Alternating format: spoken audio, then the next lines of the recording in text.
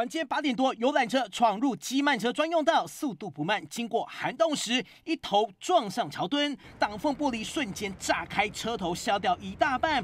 一名八十岁老翁坐在第一排，当场爆头惨死，造成一死十四伤，重大车祸意外。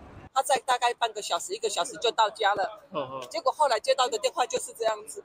老翁女儿情绪激动，质疑驾驶开错路。就在二十号游览车上载了台塑南亚退休员工以及附近社区长辈，总共二十五人到阿里山一日游。返程途中已经来到高雄，而且明明就到家门口，却发生死亡车祸。而且这个风满常常跑这里的车，怎么会不知道这个状况啊？爸爸归会了，今天满要满八岁，要六月份要给他做八十岁的大寿而已。跟父亲通完电话半小时就撞上涵洞，但意外到底怎么发生的？游览车公司明明是登记在高雄，但司机是屏东人，可能对路况不熟悉吗？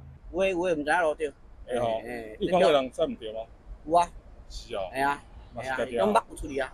高速公路底下涵洞柱子上也都有清楚标示，汽车限高四点三米，机车两米，高度落差明显，怎么还会撞上去？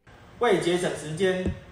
最提早切入行驶机慢车道，游览车司机疑似要省时间，再加上路况不熟，误闯机慢车道，又没有注意到限高，车头猛力撞击涵洞，让原本要欢庆八十岁大寿的老翁惨死，家属悲痛，完全无法接受。